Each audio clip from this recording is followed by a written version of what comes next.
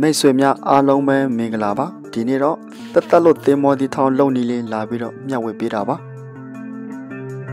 အခုသင်္ဘောတီထောင်လုံနီကိုတော့ကျွန်တော်တကြားတော့ထညက်တော့ထက်မသုံးထားပါဘူးအချိုမစားချင်တဲ့မိတ်ဆွေများအတွက်ဆိုရင်တော့ပို့ပြီးတော့အစီပြေမယ်လို့မျှော်လင့်ပါတယ်โอเคစလိုက်ရအောင်နော်ဒါကတော့ငရုတ်သီးဆိုင်ပါစက်တုံဖြူပါစားနဲ့တခါတည်းထက်ထောင်းပါမယ်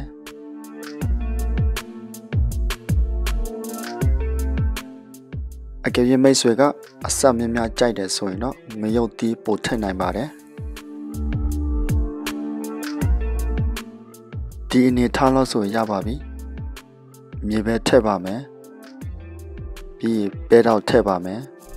နည်းနည်းလေးကြေရိုလေးထောင်းပေးပါမယ်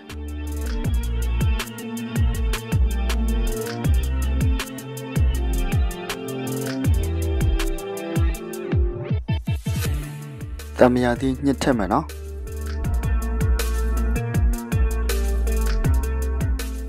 မကြီးရထက်ပါမယ်ခရမ်းချင်သည်ထက်ပါမယ်ဒါကတော့တရက်သီးပါဒါကတော့မွန်လာဥနီပါဒါကတော့ချစ်ထားတဲ့တင်မောသီးပါတင်မောသီးကြွကြွလေးစားချင်ရင်တော့တင်မောသီးကိုချစ်ထားပြီးရေခဲရင်နဲ့15မိနစ်လောက်စိတ်ထားပါရေခဲရင်မရှိပါကရေအေးနဲ့လည်းစိတ်ထားလို့ရပါတယ် အကုန်လုံးသမသွားအောင်ထောင်ပေးမယ်နော်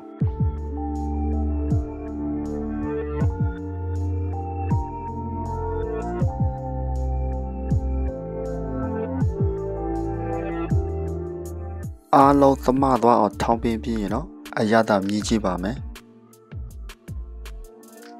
အရသာကတော့ကွက်တိပါပဲ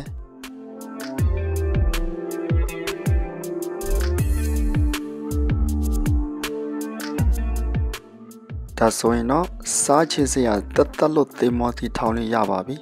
စားသုံးရအတွက်ပြင်ဆင်လိုက်ရအောင်နော်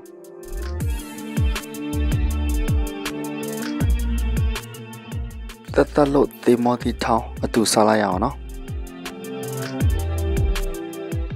ဗီဒီယိုလေးကိုအဆုံးထိကြည့်ပေးသွားတဲ့အတွက်အားလုံးကိုကျေးဇူးတင်ပါတယ်နောက်ဗီဒီယိုကြမှာပဲအားလုံးနဲ့ပြန်ဆုံပါမယ်အားလုံးကြမှာပါစေ